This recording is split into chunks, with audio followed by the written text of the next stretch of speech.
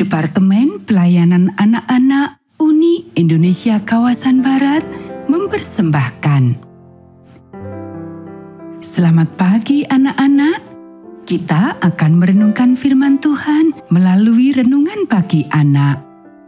Menjadikan Allah yang pertama.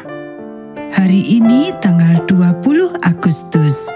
Mari kita awali dengan doa. Bapa di surga, kami akan belajar firman Tuhan. Tolong kami supaya kami dapat memahami firman Tuhan. Dalam nama Tuhan Yesus kami berdoa. Amin. Anak-anak, ayat inti renungan pagi kita hari ini diambil dari kitab Matius pasal 9 ayat 12. Yesus mendengarnya dan berkata, Bukan orang sehat yang memerlukan tabib, tetapi orang sakit. Yesus menyebut dirinya sendiri seorang dokter bagi mereka yang sakit oleh dosa. Hal ini menolong kita mengerti bagaimana Dia membenci dosa, tapi mengasihi orang berdosa. Kita tahu bahwa seorang dokter terpaksa harus menyakiti atau mengoperasi pasiennya karena dia mengasihi mereka menjadi lebih sehat. Maka Tuhan mengizinkan kita dihukum karena dosa kita dan setiap hukuman adalah menyakitkan.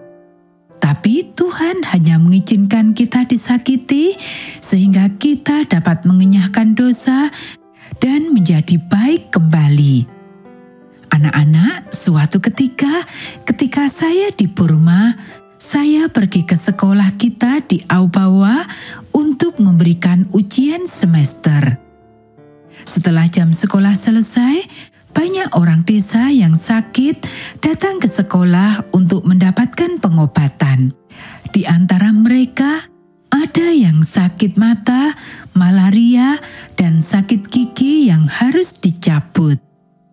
Sementara saya bekerja keras, seorang laki-laki miskin datang dengan mengerang menaiki tangga. Ada benjolan besar pada pergelangan tangannya. "Cepat, dokter," katanya kepadaku. Ambil pisaumu, bedah agak dalam, dan keluarkan semua isinya. Itu akan menyakitimu bila aku bedah. Tak apa meskipun sakit, katanya. Kamu suka orang menyakitimu? Saya berkata. Tentu saja tidak, katanya.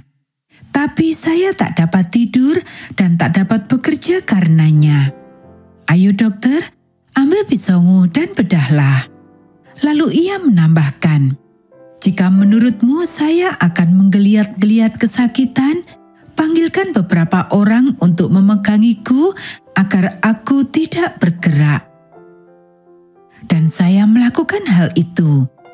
Ketika dia tidak dapat bergerak, saya membedah penjualan itu. Itu sakit sekali, dan dia mengerang kesakitan. Apakah saya hentikan saja sekarang? Saya bertanya. Tidak, teruskan saja sampai selesai, teriaknya. Saya pencet penjualan itu dan dia mengerang lagi. Apakah saya hentikan saja? Tanya saya lagi.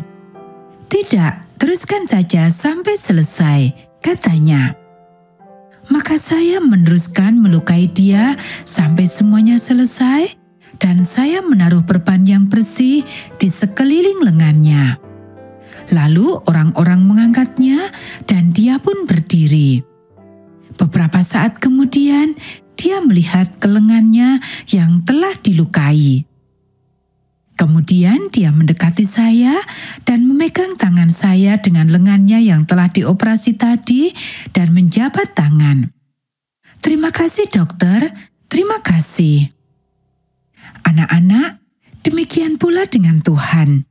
Dia membenci dosa, tapi Dia mengasihi kita. Kadang Dia membiarkan kita terluka untuk membuang dosa kita. Sekali waktu nanti, kamu akan dihukum atau dikoreksi. Ingatlah hal ini dan katakan, "Terima kasih, Yesus. Terima kasih banyak. Tolonglah saya agar tidak berbuat dosa lagi. Anak-anak, demikianlah renungan pagi kita hari ini. Mari kita akhiri dengan doa. Bapa di surga, terima kasih kami sudah belajar firman Tuhan. Terima kasih karena Engkau mengasihi kami dan menolong kami agar tidak berbuat dosa lagi. Kiranya Tuhan memberkati kami hari ini saat kami belajar, bermain, dan membantu orang tua. Dalam nama Tuhan Yesus,